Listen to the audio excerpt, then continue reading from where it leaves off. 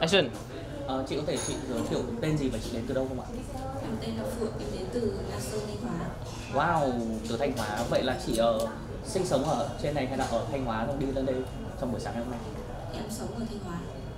Vậy là hôm nay mình phải đi lên đây đúng không? À, vậy ờ, chị có thể ờ, chia sẻ cho em biết là cơ duyên nào khi để chị đến với cà phê Trung Nguyên G7 này và cơ duyên nào để chị ờ, tham gia vào cái chương trình nhận giải này? Cơ duyên là do thì em bán cà phê từ lâu rồi, và em thích cà phê. Với lại thích xin giải thưởng thích cào giải thưởng đúng không? Vậy ờ, cảm xúc của chị khi mà là người may mắn trúng cái giải năng lượng hạnh phúc này ờ, như thế nào?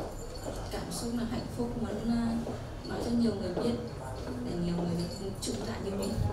Là cùng hạnh phúc giống như mình. Vâng. À, và chị có điều gì ờ, muốn nói và muốn chia sẻ với cà phê Trung Nguyên G7 bây giờ? Muốn cảm ơn cà phê Trung Nguyên đã cho chị. Cảm ơn chị.